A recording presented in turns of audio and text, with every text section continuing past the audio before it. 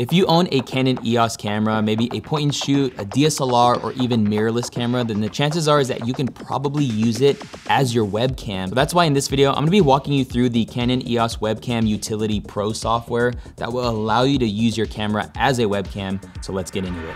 You gotta just press record. Hey, what's up? It's Omar El Takrori with Think Media. Now it's important to first know what camera you're gonna be using. Determine that model because it's gonna be important when you download the software. For this demonstration, I'm actually gonna be using the Canon EOS R10. It's an incredible camera. I actually made a full review on this camera. If you wanna check that out, you can do so at the end of this video. But the first thing you're gonna wanna do is go to the website where you can download this software and we'll put a link to it down in the description below. But as you scroll down on this page, you're gonna see some information about this software. You have a free tier and then you have a paid tier. The free tier is gonna allow you to use one Canon camera, but it's very limited as far as the features go. The paid tier is gonna be a subscription model. It's gonna be either $5 a month or $50 a year. However, you don't really need to decide that now because everyone who is signing up for the first time can get a free 30 day trial to the pro version. Some of the features that get unlocked with the pro version is being able to use up to five cameras plugged into your computer or laptop, and then you could switch between them, which is super great for things like multicam live streaming or maybe video podcasts.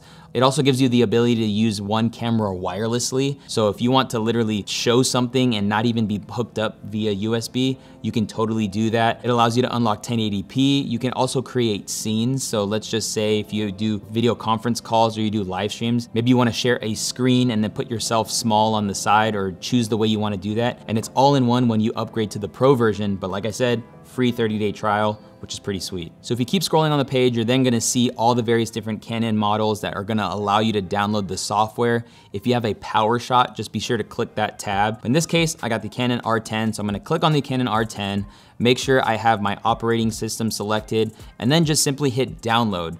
Once this downloads, I think this is a good time to actually close out applications you have open because it's gonna prompt you to restart your computer. Once you restart your computer, you're gonna go to your applications, open up the Canon EOS utility folder, and then double click on the pro version. Once you've opened up the software, you can literally plug in your camera by using your USB cable, and the software should now recognize the camera. But it's important to note that the software opened up for the first time, you're only using the free version. If you wanna go to the top right and select my subscription, you can go through the prompts to be able to access that 30 day free trial. And it's just a matter of creating an account, choosing a subscription you wanna choose. Once you go through it all and you go back to the EOS webcam utility software, you're gonna hit the gear icon on the top right and then there's some things you're gonna wanna do. For instance, under subscription, you can now see that their trial is active. And then second, under video, you can actually change the video quality from 720 to 1080.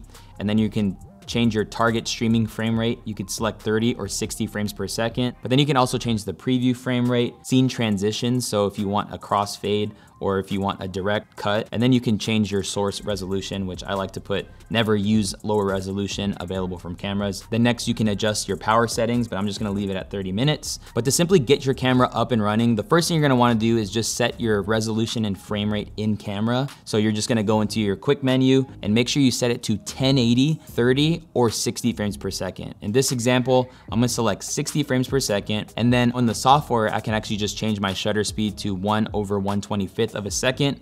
If you have 30 frames per second selected, then do one over 60. And then there's some tweaks that you can make to the overall picture at the bottom, whether it's brightness, contrast, or saturation, hue, so that you can play with those things and kind of dial in your shot. Once you have your camera hooked up via USB and it recognizes it, you can test this in whatever live streaming or video conference software you use. And then wherever your camera setting is, you can just change it to the Canon EOS webcam utility. And then boom, it's gonna pull that feed from the applications, you can literally have a super dynamic stream. But some bonus tips that I would encourage you with is number one, a good USB cable. The second thing would be a continuous power adapter, you know, so to make sure that your camera doesn't die. The third thing I would encourage you to look into is a good light. If you didn't know, lighting makes any camera look even better than it already does. And then if your Canon camera so happens to have interchangeable lenses or the ability to change out a lens, I would consider getting a good lens. I'm currently using the RF 16 millimeter 2.8 lens, which gives you that nice, you know, medium wide shot, or the 24 millimeter 1.8 lens, which gives you a nice shot, but the camera needs to be a little bit further away. And then the next thing to consider is a good USB mic so that your audio matches your video quality. A super simple and easy way to level up your video conference calls or even your live streams. But I hope you got value in this video. And if you wanna check out a review video that I made on that Canon EOS R10, you can click or tap the screen. I can't wait to see you in a future video. Peace.